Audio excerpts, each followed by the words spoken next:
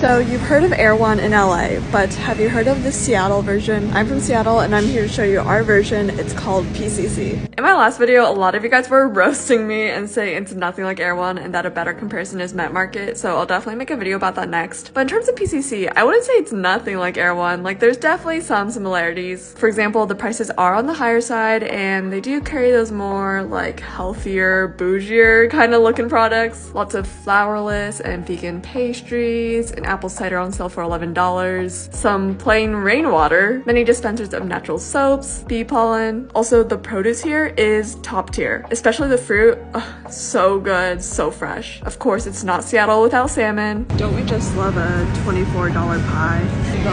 Food bar is so good. I will say though, their pizza looks kind of sad, but trust me, it tastes good. Of course, we have all the vitamins and supplements. Here I've got a $98 multivitamin.